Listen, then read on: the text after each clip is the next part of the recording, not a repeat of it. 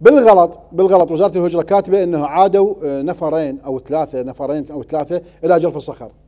تعرف تجي جهات أمنية يعني هذا الكلام موثوق من آه، وزارة الهجرة، تجي جهات أمنية تقول تعالوا هذول الاثنين أو الثلاثة شلون جوي؟ شلون رجعوا؟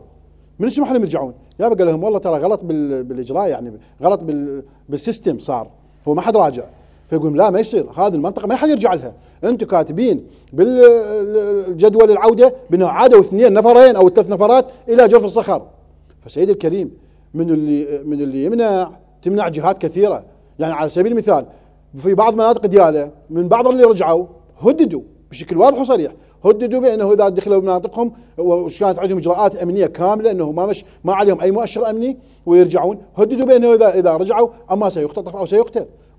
وهذه يحتاج إلى إرادة سياسية حقيقية. أنا تكلمت مع جهات أمنية آه، وجهات مسؤولة في الدولة. يعني يوم أتكلم معه يقول والله يراد لها آه، قرار سياسي أو يراد لها إجراء. ما يصير. يعني إذا إحنا نقول يراد لها إجراء. يعني من يسوي الاجراء المواطن مو زحمه اليوم أنا عندي 500 587 ونصف ألف آه، عائلة نازحة معقولة وراء أربع سنين أو خمس سنين من تحرير الأرض العراقية. لحد الآن عندي 587 ونصف عائلة ألف عائلة في في المخيمات. شو هالكلام هذا؟ وأنا في أزمة مادية وأزمة اقتصادية كبيرة وأزمة صحية. اليوم المخيمات آه، أصبحت مرتع للوباء والكورونا. آه، اليوم الدول كلها الدول الكبيرة اليوم أطلقت سراح المعتقلين في سجونها. اليوم ما نقدر نطلق سراح